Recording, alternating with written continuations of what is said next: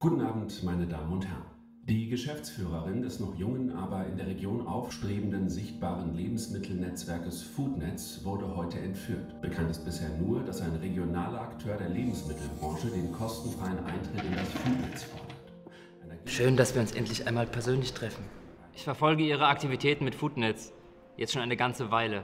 Doch jetzt mal ehrlich, was steckt wirklich dahinter? Wir haben zahlreiche Mitglieder. Fragen Sie doch eines dieser 20 Unternehmen. Das ist ein gemeinsames Projekt von Foodnetz. Gelita hat das erste vegane Geliermittel weltweit entwickelt. Wir waren die Ersten, die das auf dem deutschen Markt in die Supermärkte gebracht haben. Durch Foodnetz entstehen Kooperationen.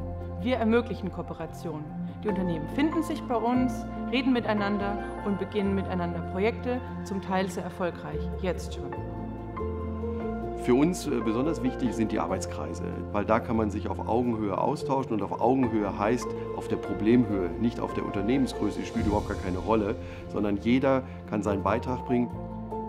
Der Mehrwert besteht ja im gegenseitigen Austausch. Das heißt, man hat eine Idee, man bekommt Ideen, man befruchtet sich hier gegenseitig. Es bietet als Plattform dieses Netzwerk vielfältige Möglichkeiten und Optionen. Wir können die Wertschöpfungskette verlängern, wir können Innovationen starten, wir können Sichtbarkeit darstellen und es wirkt. Wir hatten ja bereits den Erfolg, dass aus zehn Mitgliedern jetzt schon fast doppelt so viel geworden sind. Und es sind 20 Kooperationsprojekte erwachsen. Also ist Foodnetz ein Netzwerk aus klassischen Lebensmittelproduzenten? Nicht nur. Wir haben im Verein unterschiedlichste Kompetenzen und Unternehmen. Wir führen alle Unternehmen und Akteure aus der Foodbranche zusammen. Es ist wie im Fitnessstudio. Wenn Sie nur Ihren Beitrag bezahlen, aber nie hingehen, was bringt's? Gar nichts. Und so ist es auch bei Foodnetz. Wir wollen lebendige Unternehmen, aktive Unternehmen, die sich einbringen, die Vorträge halten, die Lust haben auf einen Unternehmensbesuch und die einfach auch die Werte, die wir leben, mitleben und unser Netzwerk noch weiter wachsen lassen und erfolgreicher werden lassen.